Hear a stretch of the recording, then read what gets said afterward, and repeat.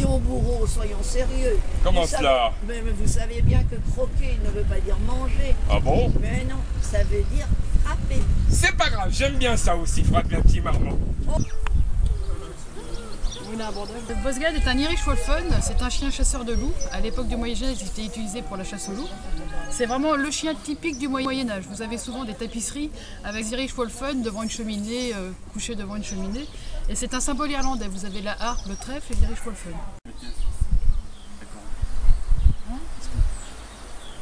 Pourquoi la corne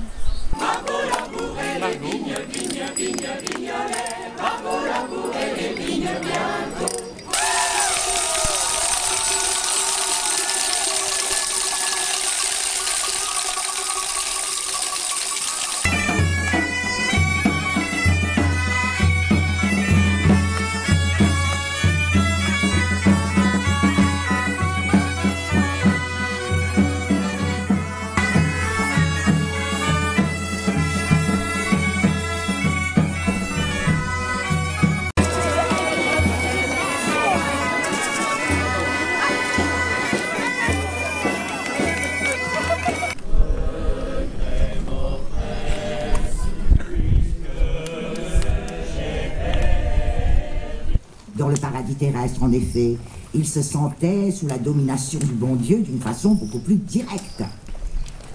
Il y avait surtout cette histoire de l'arbre du bien et du mal qui avait tellement tourmenté Ève. Quand on a toutes les libertés sauf pour une seule chose, n'est-ce pas précisément cette seule chose-là qu'on a envie de faire? Maintenant donc, Adam et Ève pouvaient agir absolument comme ils le voulaient.